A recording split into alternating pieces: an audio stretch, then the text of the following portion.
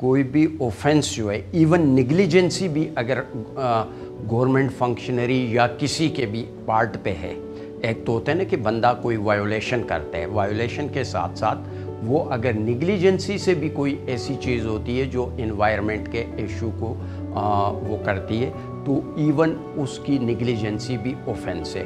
उसके लिए government functionary किसी भी कॉरपोरेट बॉडी होगी, एजेंसी होगी गवर्नमेंट एजेंसी जितनी भी हैं या कॉरपोरेशन हैं, उनके ख़िलाफ़ और इसमें इस हद तक है कि इवन जो उसका सीईओ होगा सीईओ कंपनी खुद और सीईओ और या कोई दूसरा अफिसर जिनके ख़िलाफ़ एविडेंस हो, उनके ख़िलाफ़ केस फ़ाइल किया जाता है। हमारे पास दो नोयत के केसेस आते हैं। एक तो पोल्यूशन जिससे कहीं पे अगर वो किया जाता है एफिलेंट वगैरह जो है ये स्लज या जो भी गंदगी वगैरह तो वो सेक्शन 11 में, उसमें ये होता है फैक्ट्री अगर अनट्रीटेड अपना सीवरेज या इवन धुआँ जो होता है तो वो अगर एक पैरामीटर्स स्टैंडर्ड वो है क्योंकि कोई भी एक्टिविटी होती है तो पोल्यूशन होता है। अब उसको ये स्टैंडर्डाइज किया जाता है कि इससे ज़्यादा एक्सीड ना करे। स्टैंडर्ड्स होते हैं। उन स्टैंडर्ड को अगर वो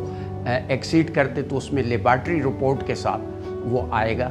या अगर आम आदमी लेबार्ट्री रिपोर्ट नहीं करवा सकता कि वो ज़्यादा एक्सपेंडिचर होते हैं तो वो सिंपल कंप्लेन आके दाखिल कर दे और उस कंप्लेन में ही वो रिक्वेस्ट कर दे।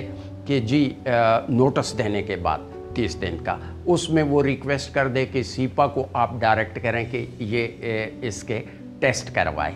तो फिर हम सीपा को डायरेक्ट करते हैं कि वो जो भी टेस्ट होते हैं लेबार्ट्री टेस्ट वो करके अगर रिपोर्ट एक्सीड करती है स्टैंडर्ड को तो वो ऑफेंस बनता है, वो कोर्ट में फिर उसे हम प्रोसीड करते हैं।